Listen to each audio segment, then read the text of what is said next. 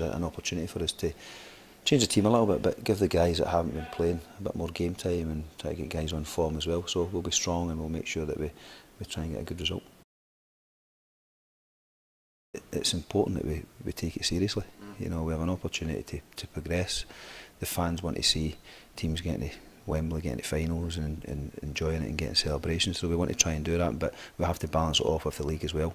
And that, yes, that's the number one priority, but like so the team that will play tomorrow night is a very strong team um, for this competition.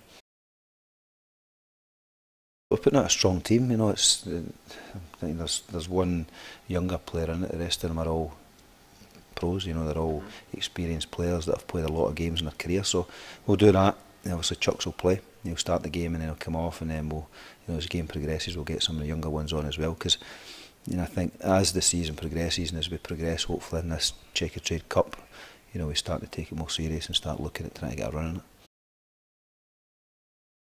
it we made the decision for the game against Stevenage that we would start him.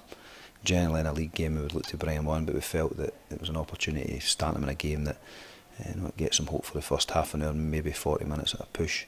Because the game's totally different the first half an hour and the last half an hour, as I've said before. So the first half will, will give him that first start to get him back in. So the, the psychology of that as well, but also it'll be, it'll be a tough half an hour for him.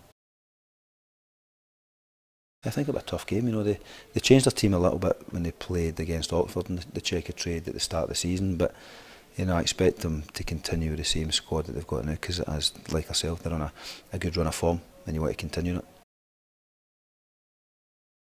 For the previous midweek game, it was a £10 to get in and a fiver for the kids. You know, you know, if we can continue to get people here and hopefully enjoy the game and get excited and then they come back because you know we've got a 32,000 all-seater stadium with the jobs to try and fill that and we need everyone to be together.